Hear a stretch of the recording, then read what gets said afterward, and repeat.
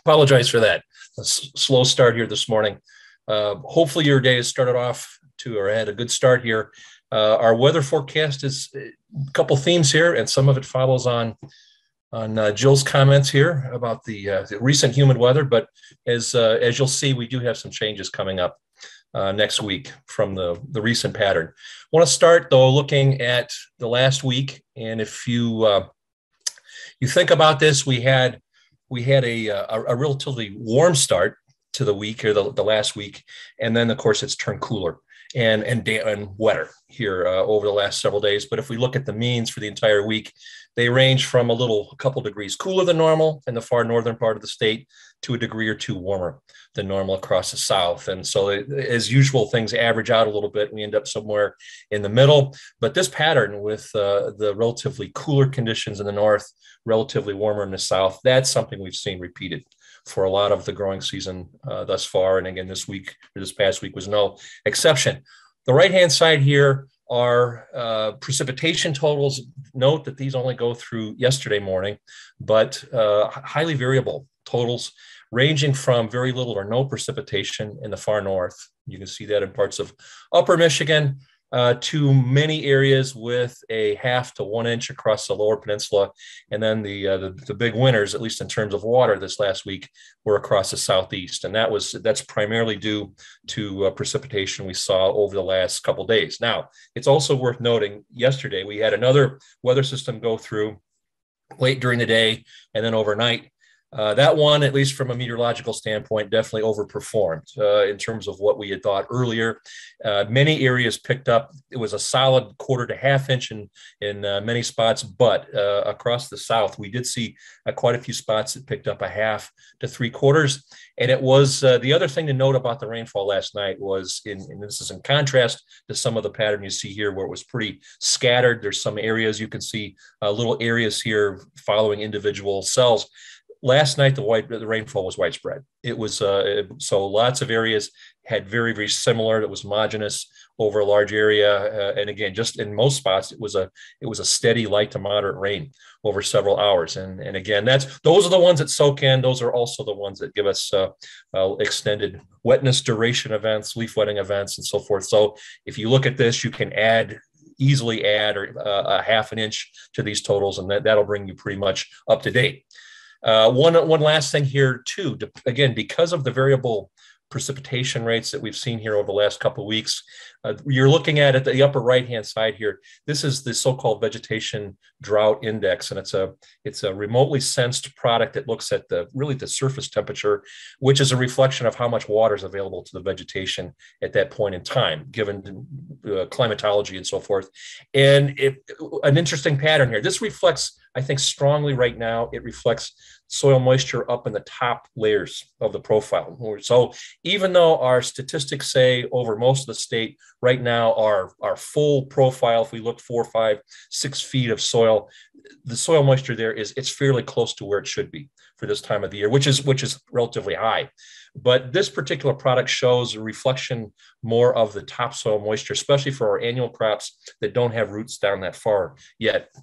And what it's suggesting with these brown colors here, especially across uh, northern portions of, of lower Michigan uh, into the thumb, and then portions of upper Michigan, especially the uh, Keweenaw, western UP, and uh, the northeastern or the eastern corner of, of upper Michigan. We actually do have uh, probably water demand beyond what that, again, the, the topsoil is able to supply. So the very, very beginning stages of, of, again, a little bit of a, of a lack of, of water. Now, contrast that, and it's a little harder to see this color, but across much of southern lower Michigan, you see some greens uh, here and uh, even some blues, indicating that this is this is a direct reflection of this, especially this recent rainfall here, where conditions are are actually still very very wet. And I I uh, had driven across the southern part of the state or southeastern lower Michigan yesterday, and again, given some heavy precipitation that fell the night before last, still actually in some areas we're still quite a bit of standing water, more than I I thought. But it, again, it varies across the state. The southeast though definitely right now is the wettest part of the state in terms of, of moisture. Our degree days uh, totals here seasonally versus normal. The colors here, reds indicate that we have surpluses of degree days. This one goes back to the beginning of March. It's a it's looking at uh, our overwintering or overwintering um, accumulations uh, or for overwintering crops. Blues indicate uh, deficits, and again, not a surprise given what we talked about earlier with the temperature pattern.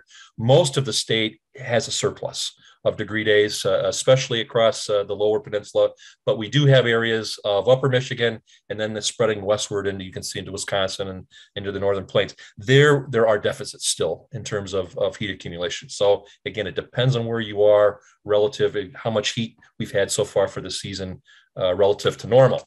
Well, looking at the forecast here quickly, I mentioned some changes occurring, and we're going to do a little bit of uh, really basic meteorology here. And again, we, we talk about the jet stream so often because it's so important in looking at our day to day and week to week weather patterns. And I've, I've got two maps on here. One of them is the jet stream flow pattern here expected over the next few days and you can see the time time frame down here. And the, as much has been much uh, the case most of the growing season thus far, we've had relatively large ridges and troughs in the flow around the hemisphere. So uh, deep trough here over Hudson Bay. You can see northwesterly flow down from Canada into the Great Lakes region. That's what we have right now. And this is directly the reason why we're seeing this relatively cool. And you got to call it unsettled because uh, not only is we, are we bringing some cooler air in from uh, higher latitudes in Canada, we've also got a weather system coming through on a relatively regular basis, almost every one to two days. And that's, again, that's a result of this jet stream pattern. But note here off to our west, You've got another ridging feature out over Western US, these orange and brown colors here. And basically, right now, the development of a big heat wave for uh, at least portions of the Southwest, that's going to be spreading eastward into portions of the Southern US. Probably will never make it here, but it is going to ultimately, the, the flow pattern will change. And by the time we get to next week, look at it's and it's subtle it's it's but there's some very very important changes that take place here over the next several days. The big one is is that this big ridge out that's now out over the western us uh, shifts to the east over the central and even into the, the corn belt here. The trough that was over hudson bay that, that's brought the cool unsettled weather that flattens out a little bit and then moves off into uh, well into the atlantic ultimately. But that's a big change for us. And that is the major, major feature, I think, looking at our forecast with relatively high confidence, suggested we will be seeing significant changes here by the end of the weekend and definitely by next week. So that's that's the theme of, uh, of the forecast. Our map here this morning, the uh, looking at, at, conditions here uh, as of eight o'clock in this morning, that low pressure system that brought the widespread rainfall to much of lower Michigan yesterday has moved quickly. Uh, it's all, all the way out into the mid Atlantic. That's on its way eastward. Uh, from the radar, you can see a few lingering showers or sprinkles left here in far eastern parts of the state. That will be ending over the next uh, hour or two. And as Jill mentioned here on the satellite, you can see uh, many areas given the recent rainfall overnight, plus uh, relatively high humidities, we've still got areas of fog.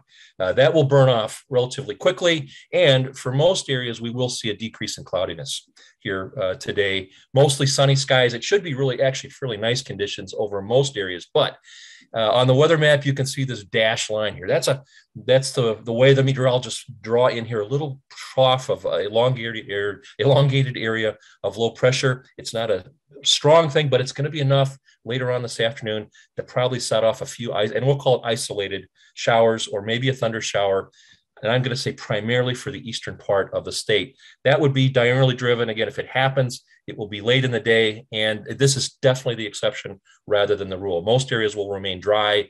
Uh, and as I say, probably decreasing cloudiness and, and, actually fairly nice day today. Once again, cool temperatures though, uh, high temperatures mainly from the 60s, upper 60s north into the low, uh, maybe a couple mid 70s in the south. So we'll be a couple degrees below normal. That will also be the case tomorrow. Uh, as we look uh, to the forecast map here. And what had looked earlier, the next weather system in this series that's going across the upper Midwest, Uh, it looks like now most of the moisture with this will be confined in areas to our south and west. It had looked earlier like at least southern lower Michigan would be picking up more significant precipitation with this. And with time, it's basically, again, the, the forecast guidance is suggesting most of that will, will remain south of us. But there is a chance, I, I, I think that we will see at least the threat of some, again, some isolated showers uh, during especially the afternoon and early evening tomorrow. Uh, but that, once again, the exception.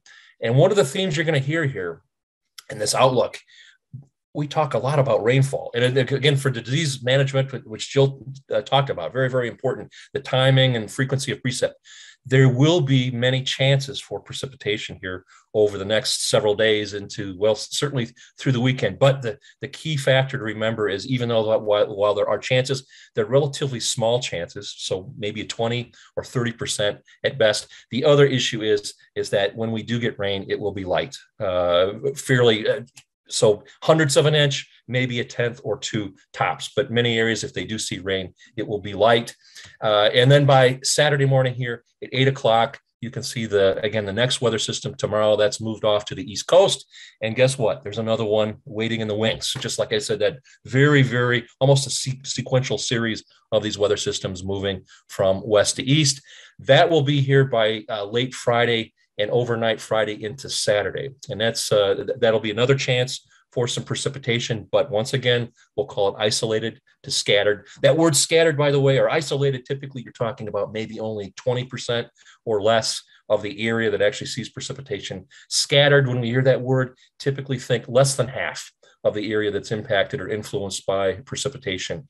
Uh, so those words do have meaning in terms of uh, in, in, the forecast in terms of how many how large an area is expected to be affected by the precip. These are definitely on the less than half. These are again most areas will remain dry.